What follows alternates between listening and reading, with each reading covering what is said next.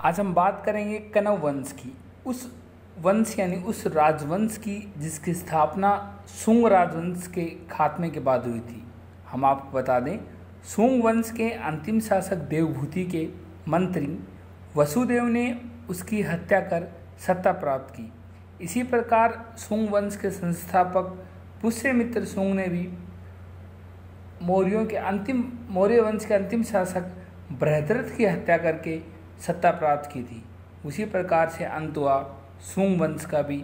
सुंग वंश के अंतिम शासक देवभूति के मंत्री वसुदेव ने भी उसकी हत्या करके सत्ता प्राप्त की थी।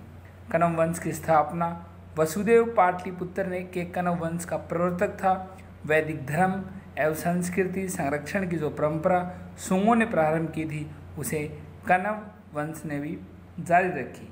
हम आपको बता दें सोम वंश के अंतिम शासक देवभूति था।